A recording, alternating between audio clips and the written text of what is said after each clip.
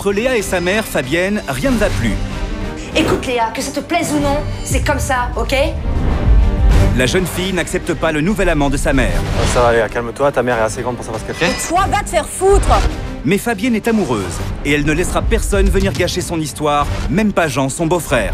Un de mes cartes de votre vie, tout ça parce qu'un petit con t'a tourné la tête? Comment réagira-t-elle lorsqu'elle apprendra la vérité? Maman, c'est pas moi, c'est lui Enfin, t'es complètement aveugle ou quoi? Jean saura-t-il ramener la paix entre la mère et la fille Et si tu t'avises de revenir, je te promets que je fais de ta vie un enfer temps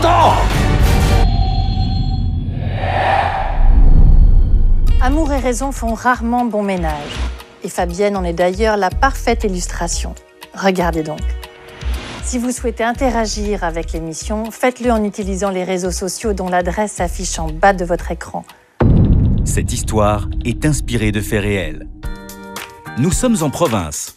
Il est 18h et Fabienne rentre chez elle après une longue journée de travail. Fabienne est veuve depuis de nombreuses années. Elle élève seule sa fille, Léa, une lycéenne qui s'apprête à passer son bac dans quelques semaines.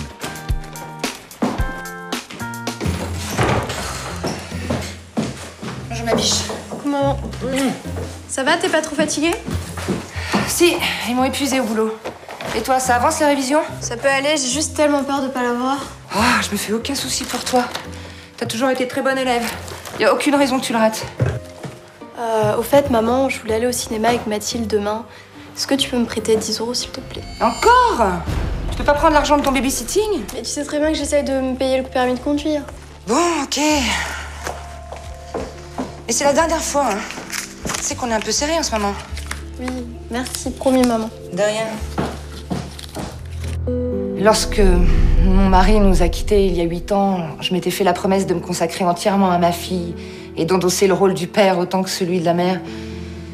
Mais c'était pas facile tous les jours de tout gérer toute seule. J'avais un petit salaire et je passais mon temps à jongler entre le travail, les courses, l'entretien de la maison et l'éducation de ma fille, Léa. J'avais aucun moment pour moi. Et parfois, je me sentais vraiment seule. Depuis le début de l'année, Léa prend des cours particuliers de mathématiques avec Kevin, un jeune étudiant de 25 ans. Mais c'est très simple en fait. Le triangle rectangle, y Ma chérie Mathilde a téléphoné, elle t'attend pour le cinéma. Déjà, j'ai pas vu leur passer. Allez, c'est une pause bien méritée, t'as très bien travaillé aujourd'hui. Tu Merci. continues comme ça Léa, hein Merci, c'est grâce à toi. On se voit mardi? À mardi, ouais. Ciao. Amuse-toi bien, ma chérie. Tu m'as manqué. Tais-toi, elle peut nous entendre encore. Mais non, elle est déjà loin là, hein Mais ce que Léa ignore, c'est que sa mère et Kevin entretiennent une liaison amoureuse depuis quelques semaines. Et d'ailleurs, quand est-ce que tu lui dis pour nous deux, hein? C'est une grande fille, elle va comprendre, hein? J'en sais rien. Après son bac, promis. Quand j'ai rencontré Kevin, il m'a tout de suite plu. C'était la première fois que ça m'arrivait depuis le décès de mon mari, je n'y croyais plus. J'étais comme une gamine qui vivait son premier flirt. Mais bon, je craignais la réaction de Léa, alors je préférais que ça reste entre nous. Fabienne cache également sa nouvelle relation à Jean, son beau-frère. Depuis la disparition de son frère, Jean a pris sous son aile la petite famille. Coucou, c'est moi. Salut Oh, T'as fait les courses, t'as un amour. Merci. Salut Oh, coucou, ma puce. Comment ça va? Bien et toi Elle est en plein stress à cause du bac. Au fait, t'es là samedi prochain ah, Bien sûr que je suis là samedi prochain. Je louperai ça pour rien au monde. Loupé quoi Mon anniversaire Bien sûr, ton anniversaire. Eh, 18 ans, c'est pas rien quand même. Oui. Qu'est-ce que tu vas m'offrir Allez, dis-moi Ah, mais c'est plutôt à toi de me le dire. Des livres anciens alors. J'en ai que 5. Je suis vraiment loin d'égaler la collection de papa. Encore T'es vraiment comme ton père, toi, hein Va pour les livres alors. Merci. Depuis la mort de mon frère, je me sentais vraiment investi d'une mission. Je savais qu'il aurait pas aimé que je laisse Fabienne s'occuper seule de Léa. Financièrement, c'était pas facile pour Fabienne. Alors je les ai aidés comme je pouvais. Le jour se lève. Fabienne et Kevin ont passé la nuit ensemble. Et comme à chaque fois, le jeune homme file en douce au petit matin.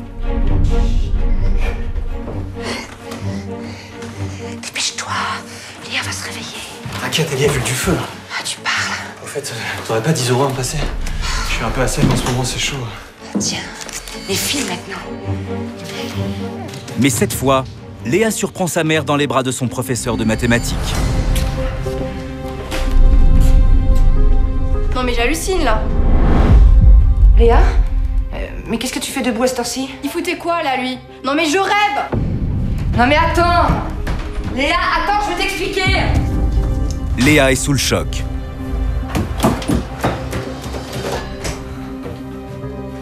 Écoute, je suis désolée, je voulais pas que tu la prennes comme ça. Non mais qu'est-ce qui te prend? T'es dingue ou quoi? Il a 25 ans et en plus l'emmener ici à côté de moi, je trouve ça vraiment dégueulasse. Je sais que c'est difficile à comprendre, mais Kevin et moi, on s'aime, vraiment. Quoi? Vous vous aimez? Non mais t'as vu l'âge qu'il a? Tu fais vieille à côté de lui, t'espères quoi? Écoute Léa, que ça te plaise ou non, c'est comme ça, ok? J'ai mis de côté ma vie privée pendant des années. Aujourd'hui, j'ai envie de penser à moi. Quand j'ai vu Kevin ce matin, j'ai, j'ai halluciné. Et de les voir s'embrasser, ça m'a vraiment dégoûtée. J'arrivais pas à croire que ma mère puisse sortir avec un mec de 25 ans. C'est vraiment ridicule. Face au comportement de sa mère, l'adolescente est bouleversée. Elle se rend chez son oncle. Mais t'imagines, il a 25 ans. C'est un gamin à côté d'elle. Et puis c'est contre nature, un truc pareil. Qu'est-ce qui lui prend à ta mère de sortir avec un petit jeune Ça lui ressemble vraiment pas.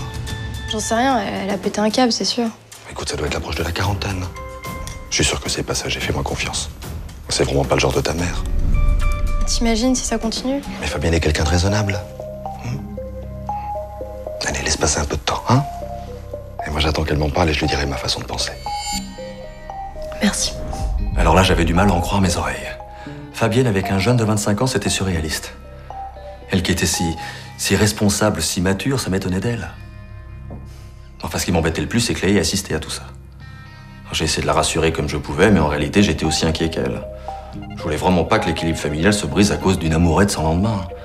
Léa avait vraiment pas besoin de ça, surtout quelques semaines avant son bac. Maintenant que leur relation est officielle, Fabienne et Kevin n'hésitent plus à vivre leur amour en plein jour. Une situation difficile pour Léa. Ah, salut ma chérie. C'est mon ordinateur, ça. Ouais, je te l'ai emprunté pour faire une recherche. Ouais, c'est moi qui lui ai dit de le prendre.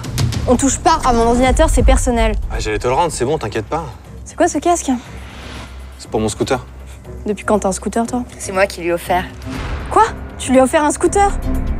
Non, enfin, je l'ai aidé. Euh, J'ai pensé que ce serait plus facile. euh, sa fac est à une heure et demie d'ici. Je rêve. Toi, tu m'obliges à faire du babysitting pour payer mon permis de conduire et lui, tu lui offres un scooter. Ça, ça va, Léa, calme-toi, ta mère est assez grande pour savoir ce qu'elle fait. Et toi, va te faire foutre Oh, tu lui parles pas comme ça, ok? Ok, non mais c'est bon. Depuis que Kevin était entré dans, dans la vie de ma mère, elle se comportait comme une vraie ado. Enfin, c'était limite, j'étais la mère et elle la fille. En plus du scooter qu'elle lui avait offert, je l'avais surprise pas mal de fois en train de lui donner de l'argent. Ça me rendait vraiment folle. Il se faisait complètement entretenir par elle. Le soir même, sans prévenir, Jean passe prendre des nouvelles de sa nièce. Coucou, c'est moi. Ah, bonjour. Vous devez être Jean Euh, oui, et vous êtes? Je suis Kevin, le nouveau compagnon de Fabienne. Ah, salut Jean. Ça va? Bien et toi? Bien Qu'est-ce que tu fais là? Tu vas passer la soirée avec vous Puis j'en profite pour faire la connaissance de ton nouveau compagnon. Oui, excuse-moi, on n'a pas eu le temps d'en parler. Mais maintenant, Kevin euh, vit avec nous. Voilà, donc maintenant que je suis là, je peux prendre le relais, Jean. Vous avez plus de soucis à vous faire. Je m'occupe de la petite famille. Pardon, mais quel relais? Léa est ma nièce et Fabienne ma belle-sœur, j'ai pas l'intention de les abandonner parce qu'un petit jeune fait irruption dans leur vie. Écoute, Jean, on ne rend pas les choses difficiles. Attends, Fabienne, je, je comprends pas là. Tu m'écartes de votre vie, tout ça parce qu'un petit con t'a tourné la tête Et attends, t'es pas obligé de m'insulter. Tu me déçois beaucoup, Fabienne. Beaucoup. Je comprends mieux Léa maintenant. Et ce jour-là, elle m'avait clairement fait sentir que j'étais trop dans sa vie. Mais on renvoie pas les gens une fois qu'on n'a plus besoin d'eux, ça lui ressemble pas. Et puis ce Kevin, je le sentais pas du tout. Quelques jours plus tard, alors qu'elle rentre du lycée, la jeune fille ne retrouve pas son ordinateur portable.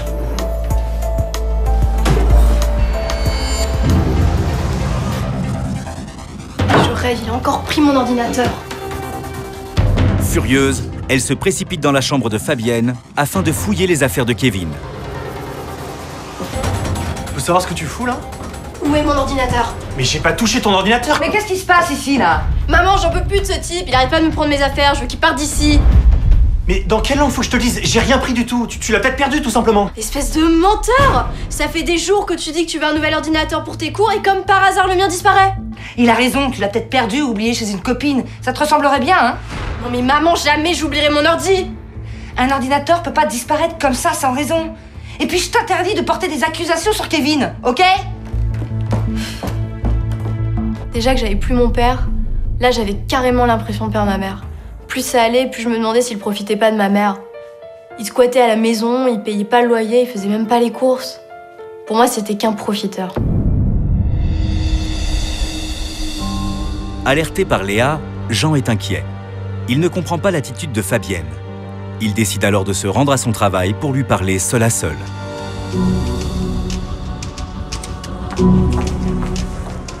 Jean? Qu'est-ce que tu fais là? Il faut que je te parle. Écoute, pour la dernière fois, je ne voulais pas que tu le prennes comme ça. Mais Kevin et moi, on est ensemble et, et je veux tout faire pour qu'il se sente bien. J'ai bien compris, mais qu'est-ce qui t'arrive, Fabienne? Tu t'occupes plus de Léa, tu l'écoutes même plus, il y en a que pour Kevin. Et c'est quoi cette histoire d'ordinateur volé? Oh non, tu vas pas commencer toi aussi. Je suis sûre que c'est un mensonge. Léa ferait tout pour nous séparer. Tu ferais mieux de te méfier de ton nouveau copain plutôt que de ta fille. Non mais vous allez me foutre la paix avec Kevin C'est ma vie, pas la vôtre. Alors venez pas tout gâcher, ok? Enfin, c'est qu'un gamin. Si t'es venu pour me dire ça, c'était pas la peine. Je veux plus en parler.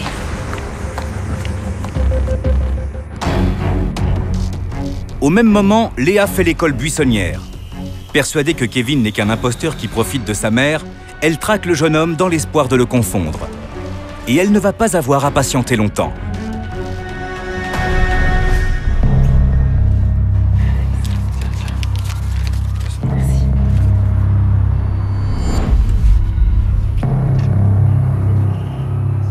Quand j'ai vu Kevin avec cette fille, j'avais vraiment envie de le gifler. Ça me rendait folle de rage. Et cet argent qu'il a donné à cette fille, euh, j'ai pas mis longtemps à savoir d'où il venait. hein. J'avais vraiment hâte de tout dire à ma mère, même si je savais que ça allait lui briser le cœur. Léa se précipite chez elle pour retrouver sa mère et lui apporter la preuve que Kevin est un manipulateur.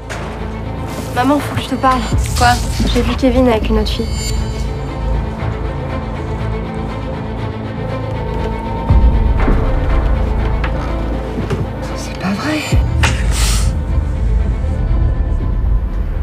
Que j'ai fait pour lui Il a dit qu'il m'aimait. C'est pas tout, maman. Je l'ai vu lui donner de l'argent en plus. Je suis sûre qu'il nous vole et il revend tout derrière. Tu me crois maintenant? Il était avec toi juste parce que tu l'entretenais. Laisse-moi, s'il te plaît.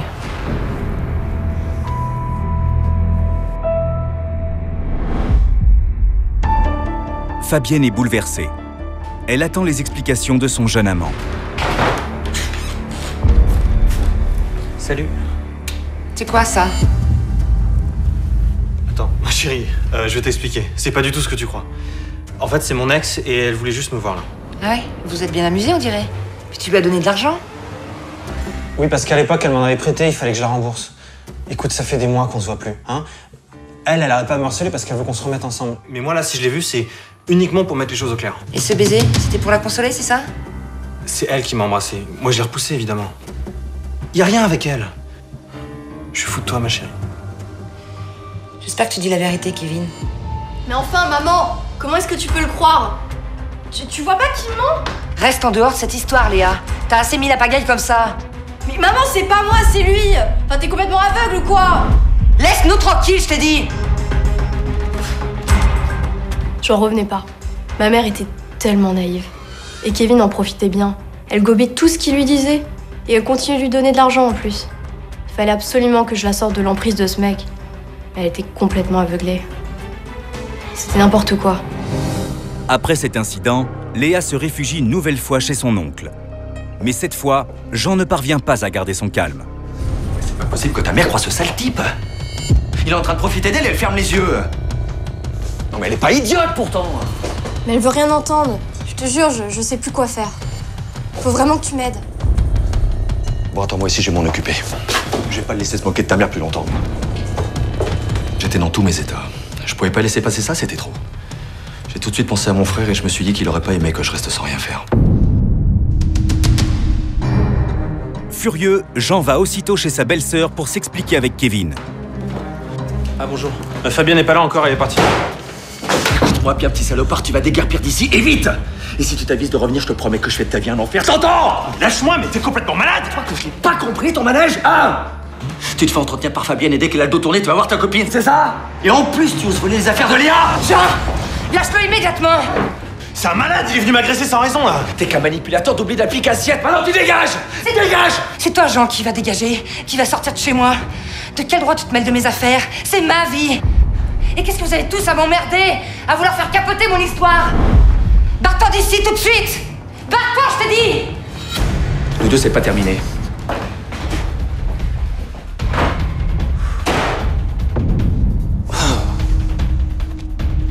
Je reviens, il faut que je lui parle. Jean!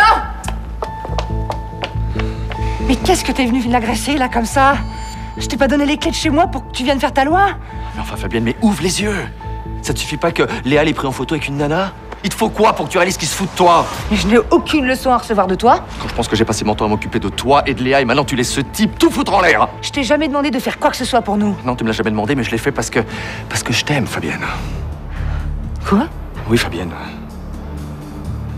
Je t'aime et j'ai fait tout ça pour que tu me vois, pour que tu te rendes compte que j'existe et qu'on pourrait être heureux tous les trois. Mais Jean, tu dis n'importe quoi. Tes frères, mon mari. Et alors, Alexandre est mort il y a 8 ans, moi ça fait des années que je t'attends. Excuse-moi, je voulais pas te brusquer, mais je t'aime, Fabienne. Laisse-moi te rendre euh, heureuse et, et m'occuper de toi.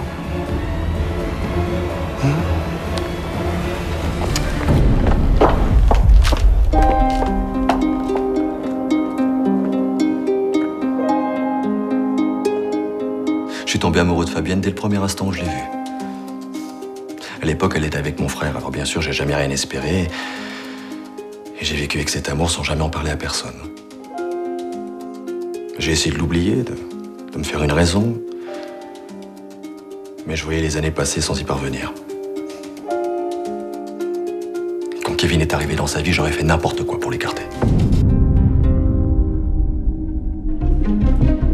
Les jours ont passé et l'épreuve du bac approche. Léa n'a toujours pas retrouvé son ordinateur. Excédée, elle décide de piocher dans ses économies pour s'en acheter un nouveau. Tiens, mais c'est bizarre. À sa grande surprise, Léa découvre un ordinateur semblable au sien, avec le même autocollant. Léa en est presque certaine. C'est bien son ordinateur qui est en vente sur ce site. Pour en avoir le cœur net, elle décide de se faire passer pour une acheteuse. Ok. Rendez-vous demain, 16h. Le lendemain, Léa se rend sur le lieu du rendez-vous, certaine d'y trouver Kevin. Mais elle n'est pas au bout de ses surprises.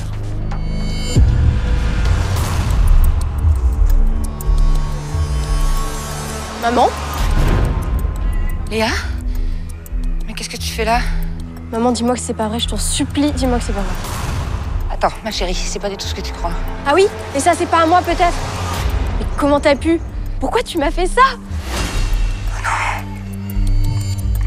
C'est pas vrai. Mais qu'est-ce que je t'ai fait, maman Pardon. Pardon, je suis vraiment désolée. Mais réponds, pourquoi tu m'as fait ça C'était pour Kevin. C'est Kevin qui t'a demandé de faire ça Non, c'est moi. Lui, il est même pas au courant. Faut pas m'en vouloir. J'avais tellement peur de le perdre. je-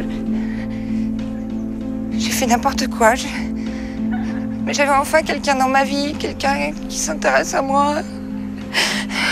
C'était tellement inespéré que. J'avais tellement peur qu'il me quitte que. Tu comprends?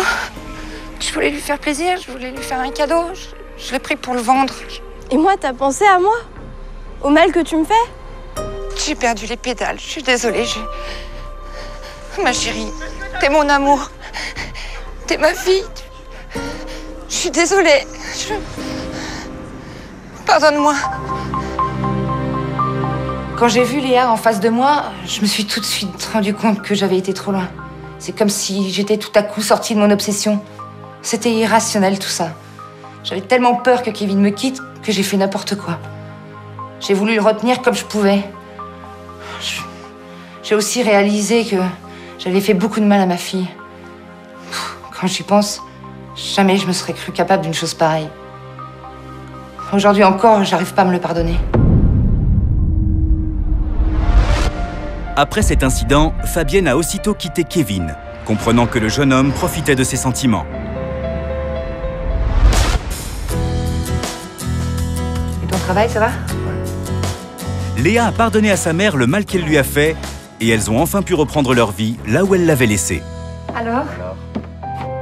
Je vous Quant à Jean, il a repris sa place dans la famille. Il espère qu'avec le temps, leur relation évoluera. Bon, assieds-toi, on a des choses à te dire. Ouais. Pour ton permis, avec Jean, on a décidé de compléter. Parce que t'as ton bac. Oui, la biche. Oh, tu l'as bien mérité. Merci. Mmh. Merci.